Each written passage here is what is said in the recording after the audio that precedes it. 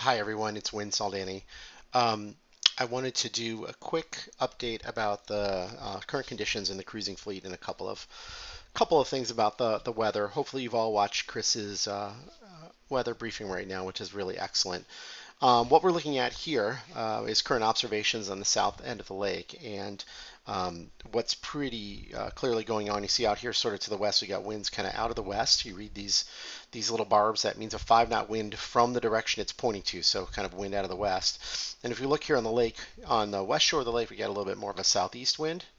And on the east shore of the lake, we have a little bit more of a southwest wind, and that suggests that there's a little bit of a lake breeze that's still set on. And um, what that means is that kind of in the middle of the lake here, we're not talking about a heck of a lot uh, um, of wind probably. So if you were to try to sail across the lake, you would probably get kind of a uh, what we would call a meso high or sort of a dead zone here in the middle of the lake. And um, as such, it's really difficult to get across the lake. So the decision for the sailors right now, um, because what will happen later tonight is as the um, the land cools off the water remains warm, and instead of having a lake breeze, which is, as you see, the things flowing on um, onshore, right, from the lake to the land, we're going to have probably land breezes develop and maybe be enhanced a little bit even by some of these westerly winds here. So right along the shore, we'll be talking about west winds over on this west coast of Lake Michigan. And we probably later tonight are going to develop east winds. Um, on the shore of Lake Michigan. So it's uh, the decision you make as a racer is, hey, do I kind of want to go up here, take the shorter route, right? Right at the, the rum line, we call it the rum line, maybe risk that it's going to be dead in the middle of the lake, or do I want to sort of stick along the shore right here where I'm more likely to pick up this land breeze? And then later on, uh, again, if you've been watching the forecast tomorrow, we might be getting into some late in the day, some good southerly or southeasterly breezes. Do I want to, you know, then I hook into those, and maybe this guy who went in the middle of the lake is back here because the wind was lighter, and maybe I'm up here because I was in more breeze, and I'm way ahead then when the when the wind comes out of the south or southeast later on in the race. Uh, so that's kind of the tactical decision that the cruising fleet is probably thinking about right now, which is do I play the shore for a thermal or do I go across the lake and hope I can make it through kind of that dead zone in the middle? And if you take a look at where the cruising fleet is now, uh, let me just zoom out here just a little bit.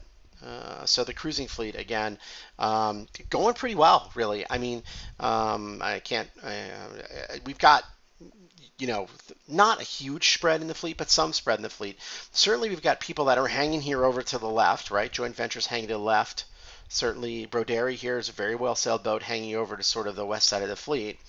Um, the majority of the fleet, though, seems to be thinking, hey, let me sort of edge towards what we call the rum line. The rum line is this red line here. It's the straight line distance between where you need to go next and, uh, and the start. So we have a lot, lot, lot of boats sitting here on the rum line. A few boats to the right. I would say in general we have more to the left and on the rum line than we do to the right of the rum line. And out in front, boat for boat, and this is no surprise, is Infinite Diversion. Um, so they're going 6.4 knots now. Uh, 19 degrees is about the course to where they're going. Um, and they, uh, you know, it's a 63 foot boat, so they go pretty quick. Um, that tells me there's some breeze, there's some uh, uh, southeast is what I'm hearing for people who are still sort of tweeting from the uh, from the course. Some southeast breeze out there in the middle of the lake. Now, if that southeast wind is a component of a very, by the way, very well developed kind of lake breeze here, when the temperature dies, I'm sorry, when the temperature cools off over land, that lake breeze is going to die. It, um, and that's I think you know something we're going to see as the night wears on, whether infinite diversion and the people in the middle of the lake sort of stall out, or whether they sort of just you know they they uh, really keep it moving and sort of by by this time tomorrow, um, maybe they're um, let me just move the, the map a little bit. Maybe they're up by like you know way up here by uh, getting across to Point Betsie or somewhere uh, close to the Michigan shore here, um, which is sort of the next place that they're going right now over here on the Michigan shore, and Little Sable and Big Sable points. So it's um, it will be interesting to see whether they stay in pressure uh, overnight or whether uh, the idea of staying near a shore where you get the thermal breezes is what you, you want to do. So um, uh, just uh, we can look at the sections real quick, right? Cruising one. Uh, those are the faster boats, uh, are a little bit farther along right now, and the boat with the little crown on it, sort of the virtual leader. Uh, let's just zoom in on that. I'm just clicking here to zoom in. Right, orange boat, and that is uh, Perico. with Brian Johnson. That is a uh, Sabre 40, 402, beautiful boat, beautiful, beautiful boat. Cruising two. Uh, over here, they're a little bit more to the left of the ley line, right? Or the rum line, excuse me. And we have a boat to the left of the rum line that might, I don't know, again, could they be more pressure? I don't know. Um, Vino is a uh, Jeanneau 40. So they're um, in the virtual lead in that section, um, although there's a lot of racing left, right? And then in cruising three, um, these are some of the smaller, slower boats. The virtual leader on this one is Obsession and Endeavor 42. And you notice that this boat here, Cuddy's Ark, is actually ahead in real time of uh, Obsession. And part of the reason for that is that we race on handicap systems, which if you have any questions about, just drop me a line on Facebook and I, I will I will try to explain. Um, uh, again, I hope you all took a look at Chris's forecast. Uh, I've got one just one point that I want to sort of educate on in Chris's forecast and repeat a little bit. This time tomorrow night, we're probably looking at some thunderstorms. Um, we'll be watching them together closely. And what I want people to understand is the way that wind works around a thunderstorm. Um, and this model just shows it great, right? So Chris talked about this, but you see the wind is out of the south here. And then all of a sudden, there's sort of this kind of a gust front or outflow boundary we call it in meteorology. What's kind of is happening is that the, the rainfall is sort of splashing down in here right? So that's uh, oversimplified, right? There's a, a net downdraft uh, for a number of reasons, evaporative cooling, friction from the raindrops and stuff like that. And what, what that's causing to happen is that once that hits hits the ground, right, the big splash of air and water hits the ground, it's got to go out.